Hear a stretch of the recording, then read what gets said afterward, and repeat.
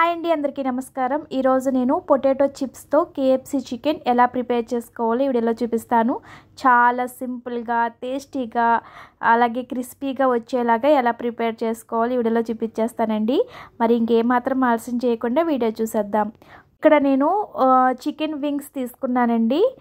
ఇవి ఒక అర కేజీ తీసుకున్నాను. ఈ చికెన్ వింగ్స్ శుభ్రంగా కడిగిన తర్వాత ఒక స్పూన్ అల్లం వెల్లుల్లి పేస్ట్ వేసుకోవాలి. రుచికి సరిపడా కారం కూడా వేసుకోండి. ఇందులోకి రుచికి సరిపడా ఉప్పు కూడా వేసుకోవాలి. చికెన్ మసాలా ఒక స్పూన్ వేస్తున్నాను.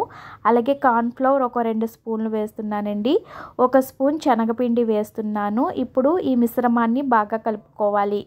ఈ విధంగా బాగా కలిపిన తర్వాత ఒక అరగంట సేపు ఫ్రిడ్జ్లో పెట్టుకోండి. ఆ మసాలా మొత్తం కూడా చికెన్కి బాగా పట్టి చాలా జ్యూసీగా టేస్టీగా వస్తుందన్నమాట. సో ఇక్కడ నేను ఒక స్పూన్ నిమ్మరసం కూడా వేసి బాగా కలుపుకొని ఒక అరగంట సేపు ఫ్రిడ్జ్లో పెట్టానండి.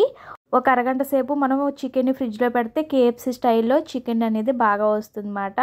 ఇప్పుడు ఇక్కడ నేను పొటాటో చిప్స్ తీసుకున్నానండి. ఇవి బాగా మ్యాష్ చేసేసుకోవాలి. అంటే బాగా గొండ కింద ఈ విధంగా ప్రిపేర్ చేసుకోవాలండి. ఒక రెండు స్పూన్లు కార్న్ఫ్లవర్ గిన్నెలో వేసుకొని తగినన్ని నీళ్ళు వేసుకొని మనం చికెన్ని ఈ విధంగా కార్న్ఫ్లవర్ డిప్ చేసి అలాగే పొటాటో చిప్స్ ఉన్నాయి కదండి మనం గుండ చేసుకున్నాం కదా ఈ విధంగా బాగా పట్టించిన తర్వాత వేడివేడి ఆయిల్లో వేసుకొని బాగా ఫ్రై చేసుకోవాలి. ఇక్కడ నేను పొటాటో చిప్స్ దాదాపు ఒక కప్పు దాకా తీసుకున్నానండి. సో ఈ విధంగా డిప్ చేస్తూ మనము ఆయిల్లో వేసుకొని ఈ విధంగా బాగా ఫ్రై చేసుకోవాలి. సో స్టవ్ సిమ్లోనే పెట్టుకొని బాగా ఫ్రై చేయండి. లోపల కూడా ఉడకాలి కదా. హై ఫ్లేమ్లో పెడితే బయట కలర్ వచ్చేస్తుంది. లోపల ఉడకదండి. స్టవ్ సిమ్లోనే పెట్టుకొని చక్కగా ఓపిక్గా ఈ విధంగా బాగా ఫ్రై చేసుకోవాలి. అలాగే మిగతా చికెన్ కూడా కార్న్ఫ్లవర్ వాటర్లో ముంచుకొని సో ఈ విధంగా పొటాటో చిప్స్ మొత్తం కూడా బాగా ఈ విధంగా పట్టించిన తర్వాత బాగా ఫ్రై చేసుకోవాలి. స్టవ్ సిమ్లోనే పెట్టుకొని ఈ విధంగా ఫ్రై చేసుకుంటే ఎంతో రుచిగా ఉండే కేఎఫ్సి చికెన్ ఇంట్లోనే ఈజీగా పొటాటోతో మనం ప్రిపేర్ చేసుకోవచ్చు. చూసారా? ఎంత బాగా ఎంత క్రిస్పీగా వచ్చేయండి.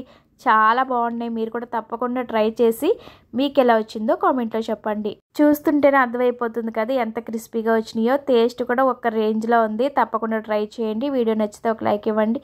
మరిన్ని వీడియోస్ కోసం మన ఛానల్ సబ్స్క్రైబ్ చేయండి. Thank for watching.